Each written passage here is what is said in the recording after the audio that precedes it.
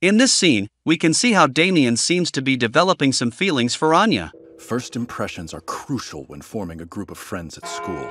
This absolutely must be handled today. That girl. She's the one who snapped, right? Oh my. I heard that she just lost it and hid him for no reason. She How's she back already? Stay away from her. School is scary. They'll believe any little thing they hear if it makes somebody else look bad. You're really smart, milady. Well, I'm normal, but I appreciate it. You should put them in their place, Lord Damian. Master Desmond. I'm here. This is the first time I've had to deal with such a.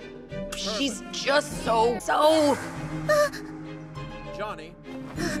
Jesse. Here. Carl. Here.